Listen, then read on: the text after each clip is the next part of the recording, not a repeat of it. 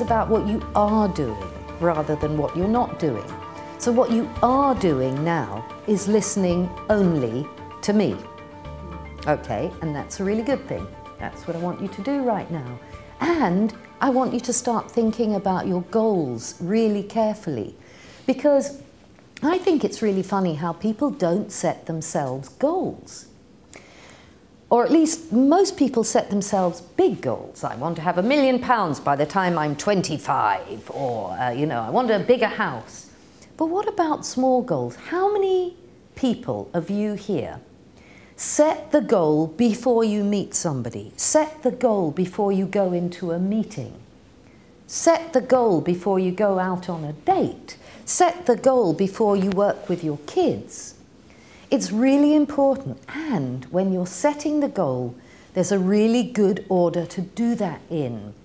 And I learnt this from a wonderful teacher, Michael Breen, who if, you, if, you're, if you're in business and doing NLP, and you want to do business NLP, he's the governor. And he taught me a really interesting rule.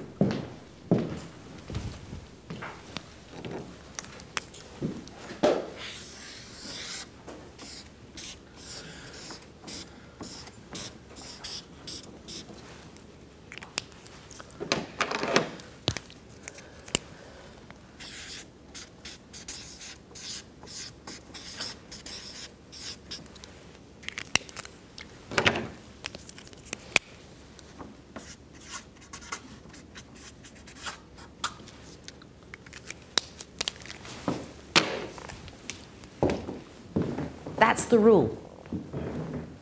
Whenever you're planning, whenever you're making goals, first of all, have a think about the state. It's the big picture, it's the meta program.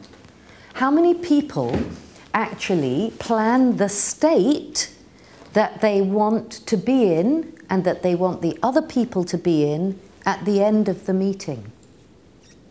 The day after the date. What's the state you want to be in when you leave here tomorrow? What's the state you want to be in when you leave here tonight? So I have some suggestions for you. If it was me sitting in the audience, the first thing I'd be deciding is tonight I want to be feeling quite excited about what I'm learning, but remaining open.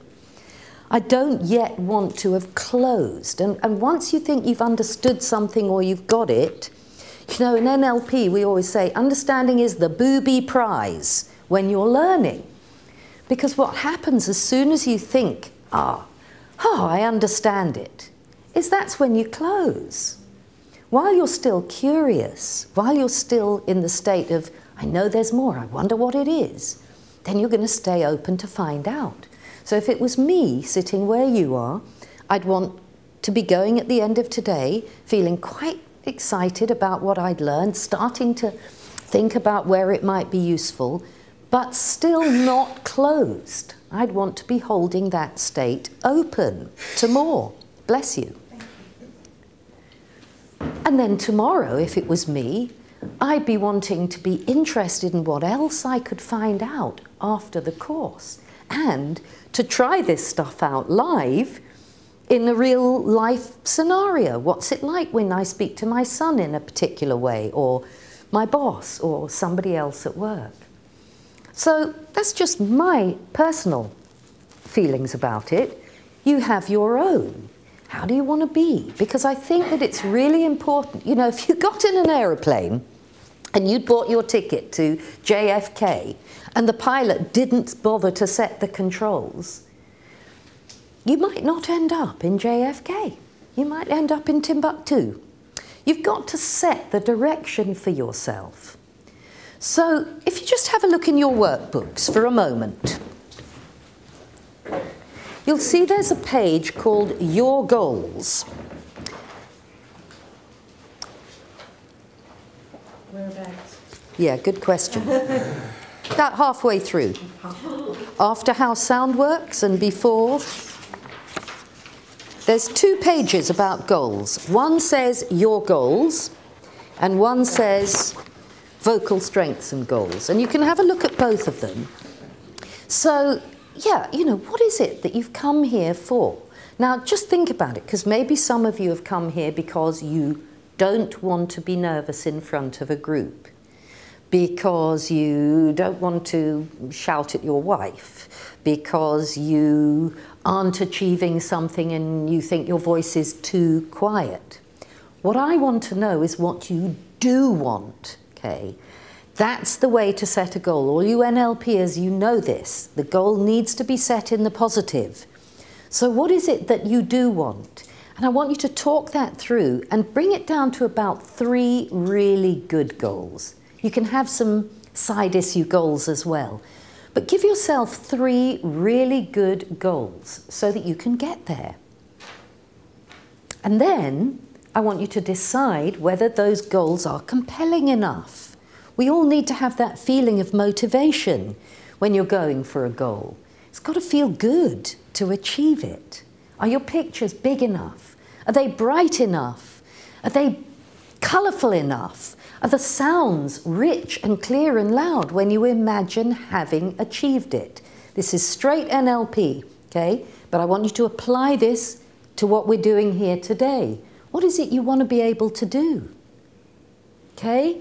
Take five minutes apiece, talk this through and get this really honed so that then we can start really aiming you in the direction of having achieved it. Tell me, what was the, what was the... To have confidence to speak in front of, uh, of a group. Okay, so speaking confidently would be a goal for you, regardless, actually, not just in front of a group, but any time.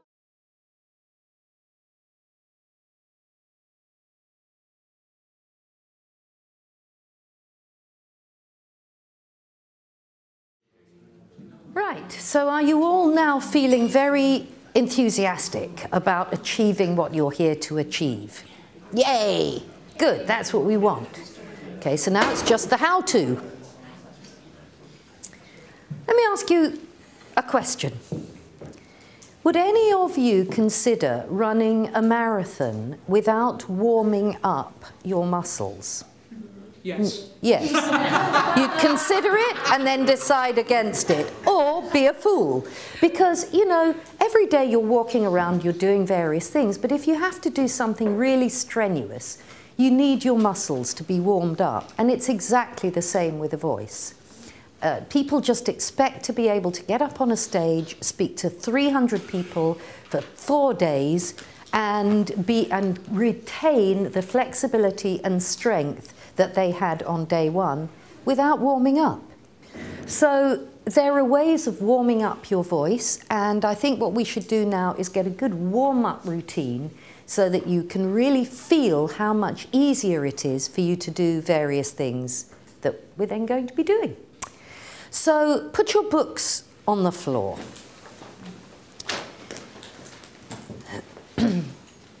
Now, the first thing is just track back to the breathing we were doing earlier.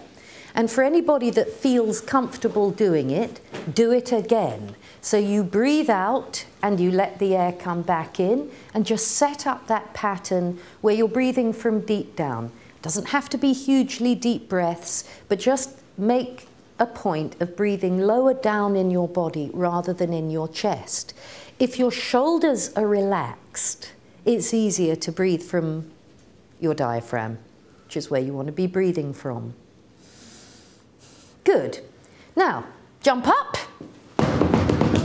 Have a big stretch and a big yawn. Doesn't matter if it's not real. Really open your mouth and stretch. Now, anybody here that didn't open their mouth fully, we're going to do it again, okay? I want you to feel the stretch at the side of your jaw. It's important. I'm examining, I need to know how many people have fillings, whether they're white ones or silver ones, and I want to see them. When you yawn, your tongue goes down at the back of your throat. It is the one time when your throat is completely open. It's a brilliant exercise. All my stammerers have to do this. If they tell me that they're getting spasms in their throat, I'm going to send them away with a prescription for 10 yawns twice a day because it's really good for your throat. One more then. Big yawn. Oh, that's right. And now just bend forward and flop so that you really let any tension drain out of your shoulders, drain out of the ends of your fingers, let your head flop. And then slowly come back up. Good. Now just give your shoulders a little rub because most people hold tension in their shoulders and you have 33 muscles feeding into your vocal tract and they're all in your upper chest and shoulders. Any tension in your shoulders is going to be audible in your voice. So give your shoulders a massage. That's it. And then push your shoulders down further than you would normally have them. Really stretch your neck. And then relax them back up. And imagine that you have a string coming out of the top of your head, pulling your neck so that you can feel your neck elongate at the back. And if you continue to need to yawn, that's it, do it big. And then what I want you to do is to make this sound. If you can't do it, relax your lips more, lick them. Lick them. And now can you do that without the voice so that it sounds like this?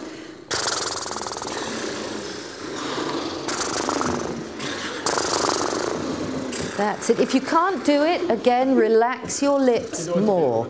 You're doing this as a muscle training. So the idea of it is that you do it fully. I don't care what you're doing, get this all working. Doesn't have to have any words to it at all, just sounds. Get some sounds from your lips, get some sounds from the back of your mouth.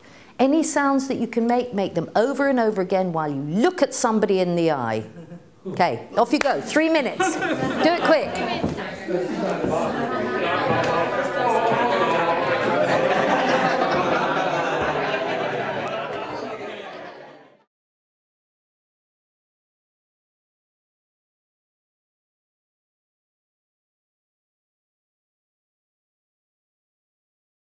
Good. Now, what I want you to do is just go to one person, if you like, the person sitting next to you, and just tell them how you got here this morning and listen to the sound of your voice, because I want you to keep calibrating. Does it sound richer? Does it sound fuller? Does it sound easier? So just calibrate it, check into it, just tell them how you got here today. Content not important. So to me, that would be a very good warm up, except for one thing we haven't centered our body. And that's really important too, particularly if you're going to be standing on a stage. Because there's a real difference seeing somebody standing on a stage, not looking or feeling grounded and centered. there's a really quick, easy way to do it. So just stand up, put your books down for a moment. Okay, put your arms up in the air like this, and then you jump and land. And where you land, that's where your feet are supporting your body most. Just notice how far apart your feet are. You need your feet that far apart to be properly grounded. Yep? Okay? Now you take your attention. Who here's done one point, Hara, on an NLP course? Not everyone? Whoa. What, taking your attention down to Hara? We didn't do it? Oh, we've got to do that. Um, okay, have a seat. I've got to do a demo. Really important. So glad I did this on my NLP course. Okay, good. Well, now you get it here. So I need um, some help. Who's going to come and help me? Yay! Come on then. Have you done this before, Richard? No. Good. Okay. So here's the thing. First of all, I want you to put your feet together. And, uh, and I want you to think about something that's been a little bit difficult to deal with, something that maybe didn't make you feel fabulous, okay? And what I'm going to do is just test his center of balance, okay? I just want to see how hard I have to push to knock him slightly off balance, all right? Yet.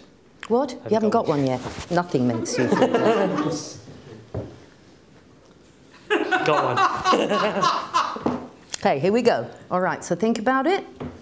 Okay, so I just I'm just calibrating now what he feels like when he's a little bit worried. So not so easy to push him forward, pretty easy to push him back, and pretty easy to push him to the side.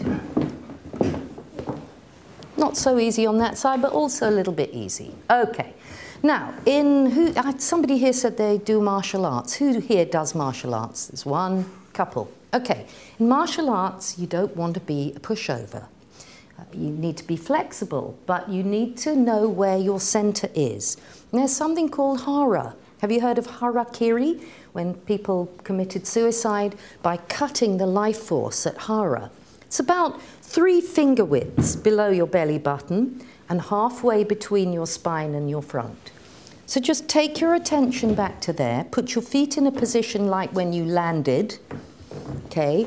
Bring your attention to here, hold it here, just hold your attention here and let me see. Oh God, now I can't push you at all.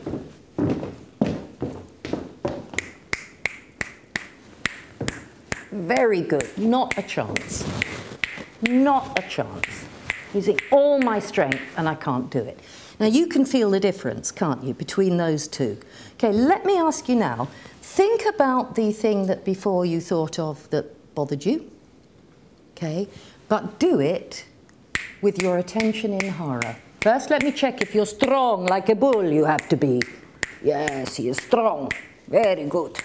Okay, hold that while you think of the thing that was challenging. And does it feel different? Mm -hmm. Yeah. Does it feel like you could deal with it better? Mm-hmm. Mm-hmm. Now, you know what? That's it. You've done it. Thank you. You're a great demonstration subject. Thank you, Richard. And I always recommend, if you have to stand up on a stage, that the, what you do before you open your mouth, you have the breathing happening. You want to be standing really firm and have your attention in your center because you feel more powerful. It makes you feel more powerful. Your body and your mind is joined together. And your body responds, makes your brain respond to its position. Try something out. Sit like this. Okay, just put your head in your hands. Okay, try it out, try it out. Oh, okay, all right. Okay, well then just sit somehow you know, like a miserable person and try and feel happy. Okay, it's really hard. Sit up again, come back. How does somebody sit who's having a great time and feeling brilliant? Okay, your mind calibrates your body. So it responds to it. If you're sitting in a position or standing in a position that feels insecure, then the thoughts, the kind of insecure thoughts, may come to mind. If you're standing like a strong person who's grounded, who's not a pushover, then those are the thoughts that come into your mind. You definitely want to be strong on your feet when you're standing up in front of a group. Now, we're going to move on to a slightly different topic, and that is how much energy you put into your communication. First of all, it has to vary, the same as everything else with a voice. You don't want to be using the same energy to speak from a stage to a group as you do in an intimate conversation. Think about it. Of course not. So, do you know how your energy comes across? Now I want you to start getting real good feedback from your colleagues here today. One of the big advantages of working in a group is that you can get feedback from different people. Because voice is such a subjective experience, I bet that if I asked you all who your favourite voices are and which voices you don't like, I bet there'd be quite a few variations in the room. You know, not everybody loves Richard Burton, not everybody loves Sean Connery, but some people do. I had a, a, a survey, we did a survey across Britain and their sexiest female voice came out as Mariella Frostrup. Now, I don't know if any of you know her. She does the book programme on Radio 4, and she has a very distinctive voice. But I don't like it. Right? In fact, I find it quite difficult to listen to for any length of time. It bugs me. But half of Britain thinks she's got the sexiest voice in the country. It's very subjective what sounds really good to you. But you need to have the variety and to find out so that you can calibrate how much energy you use. For anybody that feels that they're sometimes too loud or too strident or too controlling, then you need to find out what's the level of energy that feels comfortable. So I want you to turn in your handout to my friend Fatima. It's called the Fatima Factor. You're going to take this exercise, and it's on page Halfway through. about halfway through, after what we've already been doing before that. Next. No, one more. One more. No, you're going in the right direction. Yay! Have you all got it? Okay. So this exercise is to calibrate your energy level when you're with one person or a small group. And then you can just use the correlation of that for thinking about how much more you might need on a stage with 20 people, on a stage with 100 people. Because the sound waves are absorbed by people. They're going in through your skin and bone and vibrating you. That means some of it is getting lost. When you're in a room with soft furnishings and people, the more soft furniture and the more people, the more energy you have to use to sound exactly the same. So that's what this exercise is for. So here's how it goes. You read the first paragraph in your normal voice to somebody, a colleague. In fact, I'd like you to work in threes. So you're going to read it to two people. The second bit is where the evil thumb comes in for some of you, okay? Because I really want you to turn up the energy to maximum. That's going to be scary with you, okay? That's okay. I want you to find out the edges. Bless you. Okay, you're going to turn up the energy. Okay, so I want you really to feel it in your body. And I want you to call people to come and see the fattest woman in the world. She weighs 1,250 pounds. When you say turn up energy, you don't mean shout. No, I don't mean shout. I mean really use your energy. Ladies and gentlemen, in the tent behind me is Fatima. She's the fattest lady in the world. She weighs 1,250 pounds. It takes nine men to lug her and a tractor to tug her. Don't miss this chance. Get your tickets now. Okay? Is just an excuse for turning up your energy. All right? I don't really care what you say, but it's quite a good little thing to read. And I want you to find out what's the most energy you can use. All right? Then I want you to take some of the Fatima energy and bring it to the paragraph at the end, which is the same as the paragraph at the beginning. So that you've then got three energy levels, right? The first one, which is just default reading it out, the second one, which is enormous, and the third one, which is in the middle. And I want you to get feedback. What feels comfortable for the people who you're talking to? What feels impactful? What feels exciting? Okay, now of course it's going to depend on whether you do it as just a kind of rah, or whether you do it as a rah. Your state will count. So we're, we're adding things in here. Start using your state as well.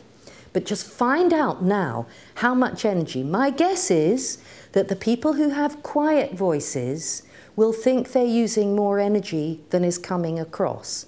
The people who have very loud voices here may think that more, uh, that less is coming across. But I want you now to just start calibrating and finding out from the other people what's coming across. And you're going to use this to do it.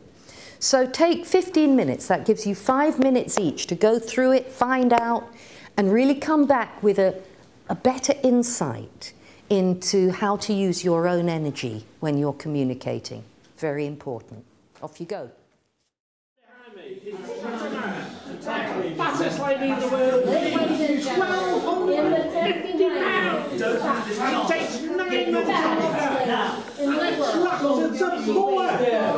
Don't miss this chance. Buy your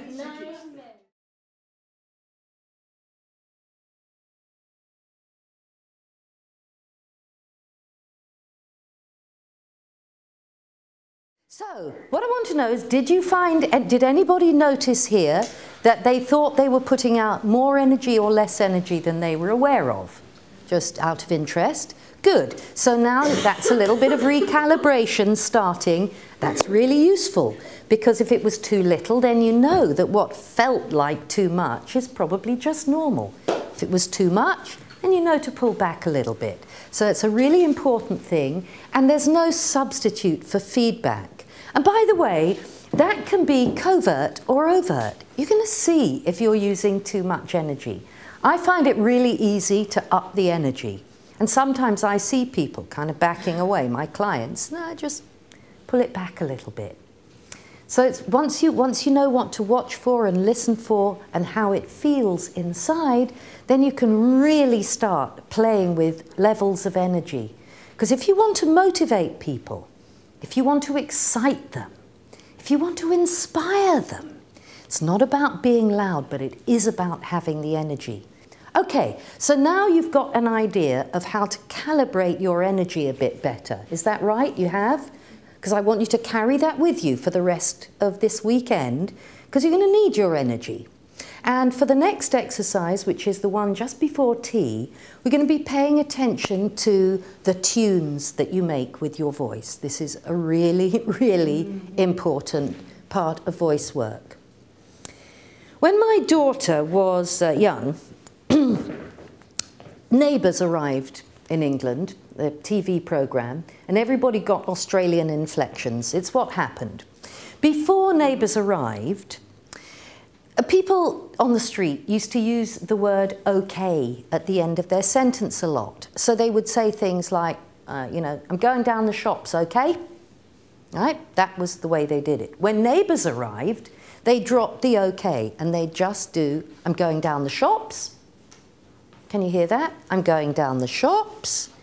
Now, it's not really a question. My daughter used to say, people used to say, Where do you live? And she'd say, I live in Richmond. Now, I just want you to notice what that does. I live in Richmond. What does it make you feel like?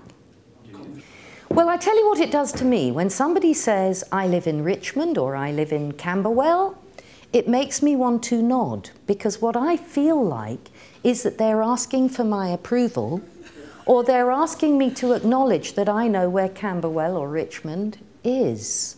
That's a questioning pattern. When you have a rising inflection, something has to come next. That's what a rising inflection is. It tells you I'm not finished. Now, how much your voice goes up and how much it comes down is going to change the way you interpret it. So if I say to you, shut the door, just notice what it feels like. Now I'm going to try slightly less. Shut the door. Notice what that feels like. Now I'm going to try shut the door. If you were to say please on the second one, then that would be better. Okay, let's put a please on there. Let's see if it makes a difference. Please shut the door. Or shut, can you shut the door, please? Can you shut the door, please? Right, just notice, you think it's the words, it's the inflections. Can you shut the door, please? Right. Can you shut the door, please? Can you shut the door, please? Can you shut the door, please? Now, each one of those means something different, doesn't it, to you? And each one is going to get a different response. The bigger the fall, the more commanding it is. The more your inflection drops, the more commanding it sounds. Now, there are some people that like being commanded, by the way, and that are going to want to hear that. Okay? And sometimes it's really urgent that you really are very commanding. Sometimes when you're speaking to small children, you really need that. And children respond so much to inflections. They pick them up and they respond absolutely. And, you know, it's different with different children, but to find out which ones your children respond to is really useful.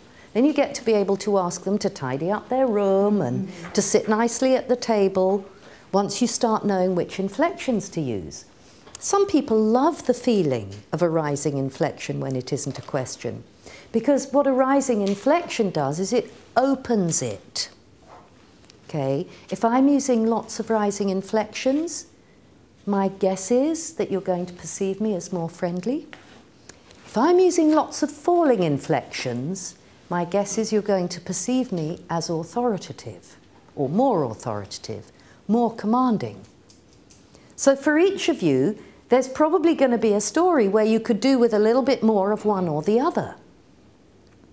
I often have to work with people and teach them rising inflections because they're very authoritative, okay, very commanding. Then it's useful to incorporate more rising inflections because it's friendly, it's open, it's like now it's your turn.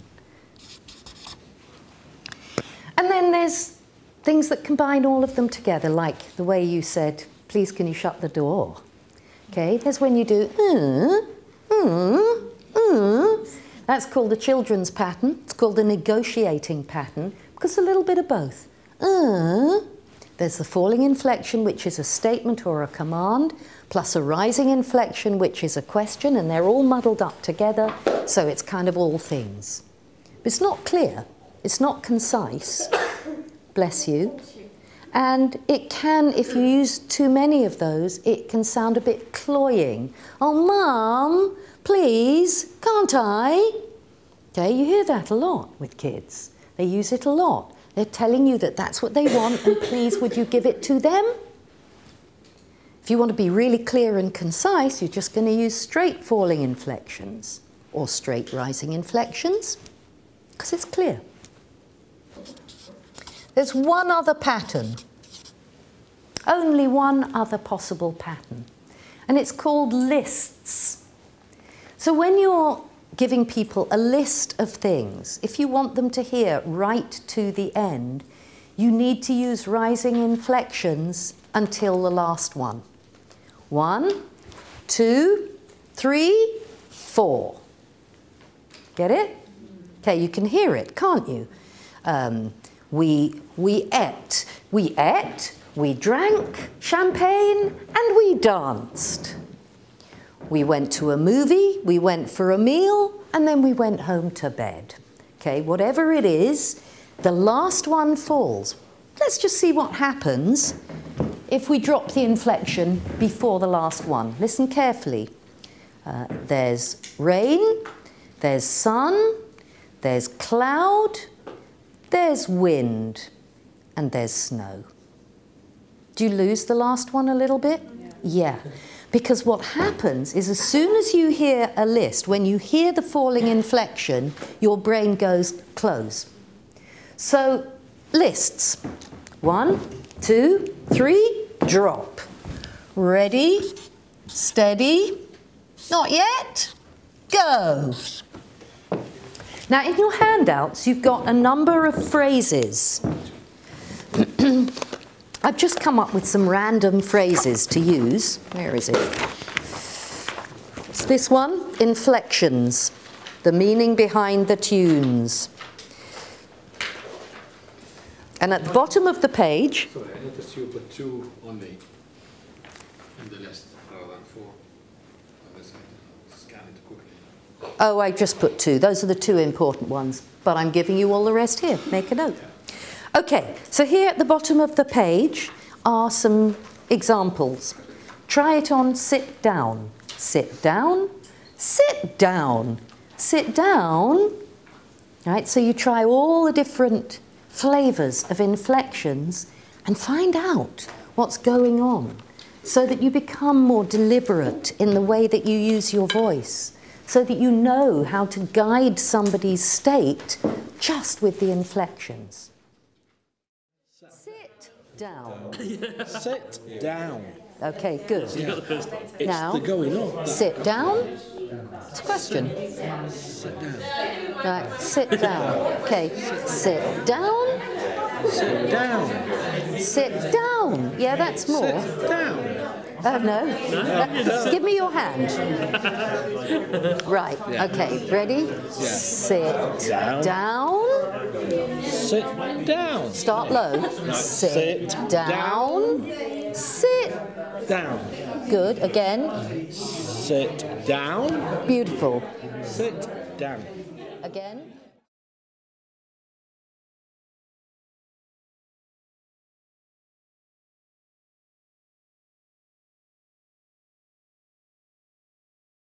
Let's keep, hold focus, because we're going to do a really important thing next, which is to go through the list of the different pieces of what's going on with a voice, because tomorrow we're going to be exercising every single aspect of your voices, so that by the time you leave here, every stone has been turned and every aspect of your voice, bless you, every aspect of your voice will have been exercised so that what comes out without any effort is just something much more flexible and much more controlled. But in order to do that, you have to know what the list is. So here's the list. It's called Voice, a vocal checklist for your specific goals.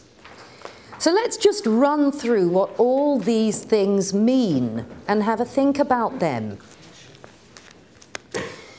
Now, some people say I speak too fast. Some people say, not so many, say I speak too slow. Some people say when they're nervous and under pressure, gesundheit, they speak too fast. But actually the truth is the only important thing is to get variation It's the variation that makes your voice interesting, that puts the emphasis in there. If you always speak at the same speed, it's going to sound like when you always speak on the same note.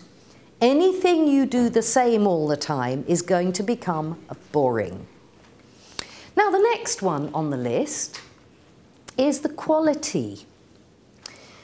What happens when I make the quality of my voice not quite so pleasant? Okay, I just want you to listen. Now, there are plenty of people that talk like this.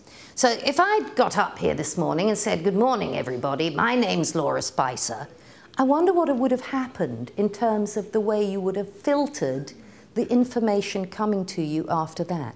Because you see, what I think happens is when something is really unpleasant, and remember, the sound waves are going into your body. So if it feels unpleasant and sounds unpleasant, what most people want to do is kind of close it off. That's what it feels like. It's a bit like if somebody's hitting you, you want to do that to stop it. So if my voice was really unpleasant, how long do you think I could speak before you do that? Okay, it's horrible. Now that's a really exaggerated version. And pretty much everybody here, as far as I can think, has got pretty nice quality. It's very important. And the quality is all about where you're breathing from, which muscles are tense, which muscles are relaxed. That's what makes the quality. Now, your pitch range. Pitch is a funny word because some people think it means volume, but in terms of your hmm. voice, it means how high and how low you speak. And, and what is the difference between your highest note and your lowest note? If you speak in a narrow pitch range, there's going to be boringness in there. It's just going to sound monotonous. If you stay at roughly the same tone all the time in terms of which notes you're using, just notice what it sounds like to you. Okay? As I keep my pitch range very narrow, and I tell you about, you know, the fun we had and the sad time we had, there's no emotion. Okay? Emotion is expressed through pitch range. But equally, too wide a pitch range can be incredibly annoying when you hear people saying, well, I went down to visit my friend and she said to me, okay, ah, okay, lots of people do it. It sounds pretty crazy as you're listening to me now, but lots of people do it. So finding out what's a good wide pitch range but not too much is going to be important. To be doing that tomorrow. And it's the same with the volume. And you know, here's what I think. There's a spectrum. It's not loud or quiet. There's a spectrum. there's too quiet at one end and too loud at the other end. But in between, there's a whole area that you can play with. And in that playing with it, making some things a little bit louder and some things a little bit quieter, you're going to keep people's attention better. So what we're going for here is variation in the volume.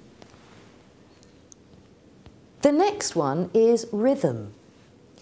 Now, Richard Bandler is incredibly skilled at using rhythm to anchor different concepts. So he will use one rhythm for one concept and another rhythm for another. Some of you have noticed that he taps his foot a lot. He's running rhythms all the time. But you know what? The really important thing is just to be able to have rhythm at all. When you hear someone who speaks arrhythmically, I think that what happens is that personally, that is, I tend to switch off because I find it rather annoying to listen to someone who doesn't keep too much of a beat, really. It doesn't sound good. So the inflections we've already worked on, and the energy level we've already worked on. The next thing is emphasis. Some people were playing with emphasis. We're going to be working with that tomorrow. If the feedback that you're getting is that people can't remember what you say, then probably you're not giving enough emphasis. When you emphasize a word in a phrase, it tells people's brain how to make sense of it. As soon as you hear the emphasized word, as soon as you hear the emphasized word, your brain does something. And by the way, in NLP, to have those tonal anchors and marked out phrases, you need to be able to be an expert on where you emphasize. Uh, the resonance is whether your voice is up in your head, whether your voice is down in your chest, or whether it's somewhere in the middle. And again, what you want is varied. Nothing is wrong with having head resonance. It just sounds wrong if it's at the wrong moment. Sounds great outside when you want your voice to carry. Going to be working with that. A pauses. Really useful. A clarity. Some people have said to me here that they think they could do with being clearer. And that's going to be down to how much muscle energy mm-hmm. you use. And again, all these things we're working with tomorrow. And your posture, we've done a little bit on that. And where you put your voice is a part of it as well. Because no matter what volume I use, if I bring my attention too close, it's not going to be easy for you to hear me. You're going to have to work. At the moment, I'm speaking very close, okay? And even if I take my hand away, if I'm thinking and talking at the same time, it feels really different from when I'm focusing on you, doesn't it? Somebody here asked me about keeping people engaged. That's to do with your focus of attention. Your confidence and state and your strong stance. now, that's the list. There isn't any more to it, really.